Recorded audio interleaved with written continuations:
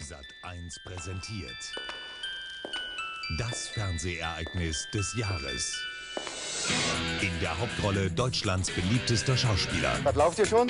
Götz George, ein großer Künstler, nimmt eine neue Herausforderung an. Ja, natürlich in Sat 1. Eine außergewöhnliche Eigenproduktion mit großen deutschen Stars.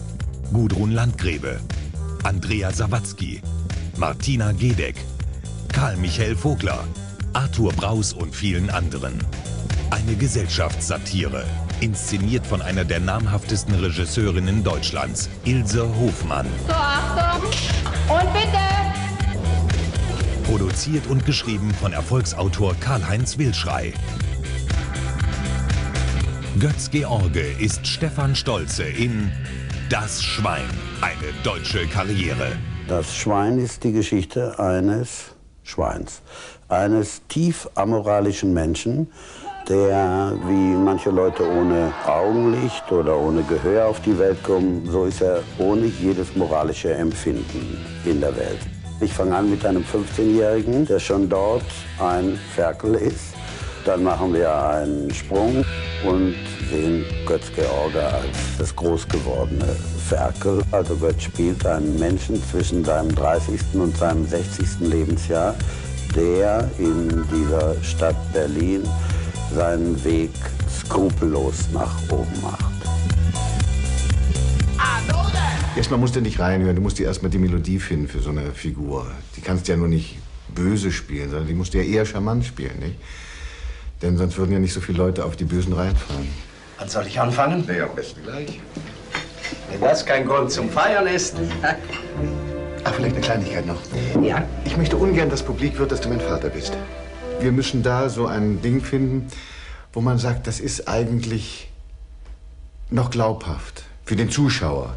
Sonst sagt er, ach Kinder, nee, das ist ja eigentlich nur böse. Und das muss man immer wieder auffangen, nicht? Mit gewissen Sympathieszenen. Und dann muss er zuschlagen, nicht?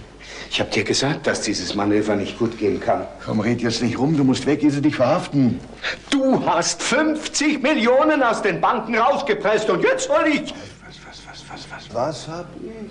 Wer ist der Geschäftsführer, der Spree und ich? Oder du? Du bist der Besitzer. Aber ich bin doch nicht für das kriminelle Gebaren meines Geschäftsführers verantwortlich.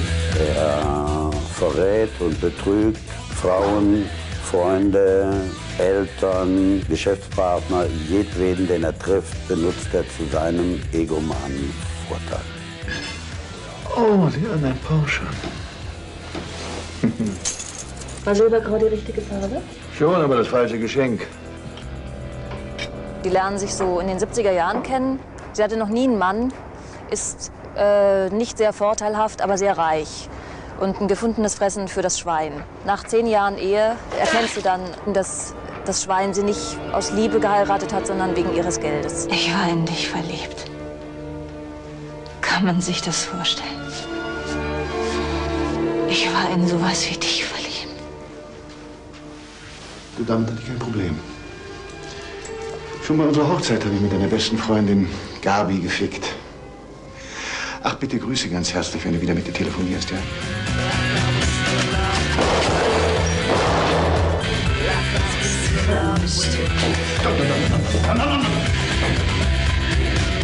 Ich möchte Ihnen gerne Heimlichkeiten sagen.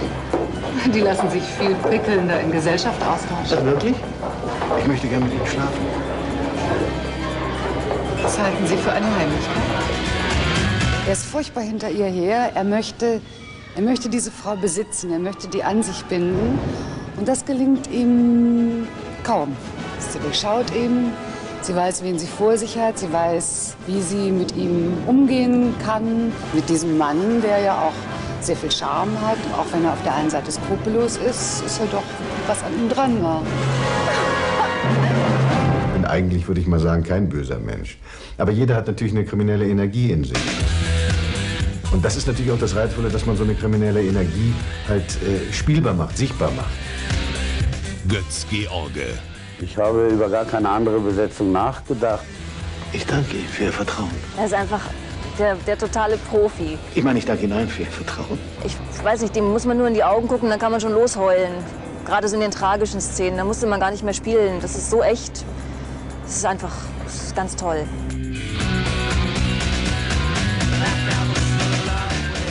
Götz-George in einer dreiteiligen Sat1-Produktion. Der Aufstieg eines skrupellosen Egoisten.